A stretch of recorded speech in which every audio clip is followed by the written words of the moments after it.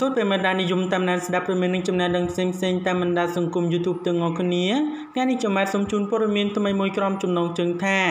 លោកវីលៀមហួសចាត់មិនដែលស្រុកខ្មែរមានគិតធៀង2បាទជាប់ពន្ធនាគារហើយមានឈ្មោះនៅក្នុងលិខិតបាទតែងតាំងបាទនៅក្នុងសភាពាណិជ្ជកម្មជាតិកម្ពុជាទៀតបាទប្រិយមិត្តជាទីគោរពរាប់អាន បាទនិយាយអំពីបុគ្គលធិបាទគិតធៀងមហាជនប្រកាសជាបានស្គាល់បាទពាក់ព័ន្ធជាមួយនឹងបាទម្ចាស់ក្លឹបកំសាន្តរកបាទដែលធ្លាប់មានបញ្ហារឿងអាស្រូវបាទដោយក្លឹបកំសាន្តនេះបាទមានផ្ទុកគ្រឿងញៀនរហូតដល់50គីឡូក្រាមបាទដោយសមត្ថកិច្ចបានធ្វើការខត់ខ្លួននិងរកឃើញនៅពេលថ្មីថ្មីនេះចំណែកឯរឿងដ៏ហួសចិត្តកំពុងតែទទួលបាននៅការផ្ទះផ្អើលនៅពេលថ្មីថ្មីនេះបាទត្រូវបានសភាពាណិជ្ជកម្មរាជធានីភ្នំពេញបាទតែងតាំងបាទចំនួន40រូបនៅក្នុងនោះក៏មានឈ្មោះលោកគិតធៀងនៅក្នុងអាណត្តិទី4បាទលើកទី1នេះផងដែរដែលលោកគិតធៀងគេស្គាល់ថាជាអុកញ៉ាបាទម្នាក់ដ៏មានភាពល្បីល្បាញហើយបាទជាអុកញ៉ានិងជាម្ចាស់បាទក្លឹបកំសាន្តរកដែលជាអ ுக ្រិតជនបាទដែល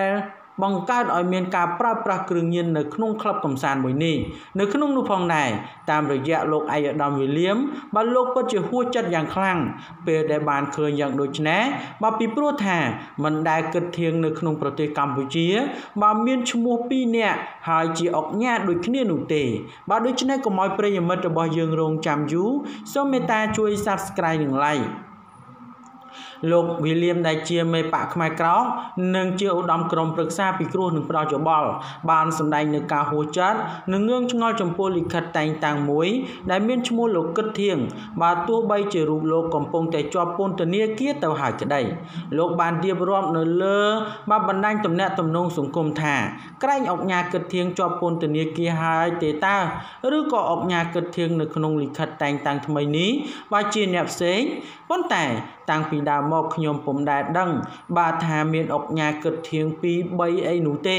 សង្ឃឹមថានឹងមានការបកស្រាយឲ្យអស់ចម្ងល់គួររំលឹកផងដែរថាកម្លាំងនគរបាល បាននៃស្នងការដ្ឋាននគរបាលរាជធានីភ្នំពេញ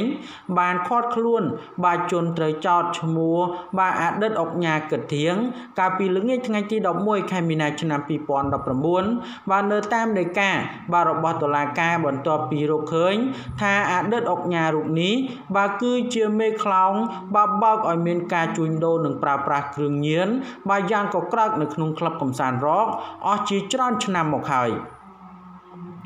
ពាក់ព័ន្ធជាមួយនឹងរឿងនេះផងដែរបើសង្ឃឹមថាមន្ត្រីពាក់ព័ន្ធនានាលោកនឹងធ្វើការបកស្រាយដើម្បីឲ្យពលរដ្ឋអស់ចង្អល់បើចំពោះគិតធៀងបាននៅក្នុងការតែងតាំងបាននៅក្នុងចំណោមមន្ត្រី នៅក្នុងចំណោមមន្ត្រីដែលជាសភាពាណិជ្ជកម្មបាទអាណត្តិទី4ហើយតើគិតធៀងនៅក្នុងការតែងតាំងនេះបាទជាអុកញ៉ាគិតធៀងម្ចាស់ក្លឹបកំសាន្តរកឬមួយក៏មានអុកញ៉ាគិតធៀងផ្សេង បាទសម្រាប់ធ្វើការតែងតាំងនោះបាទដូច្នេះព័ត៌មាននេះមានប៉ុណ្ណឹងដើម្បីទទួលបាននូវព័ត៌មានថ្មីៗបន្ថែមទៀតសូម Subscribe និង Like ចំណែកខ្ញុំបាទសូមអរគុណនិងសូមគោរពលា